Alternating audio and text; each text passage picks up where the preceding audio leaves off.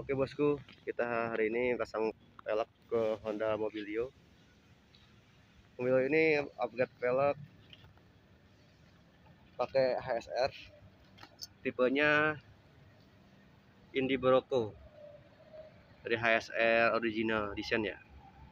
Untuk spesifikasinya ring 16 lebar 7 RT42 masih rata body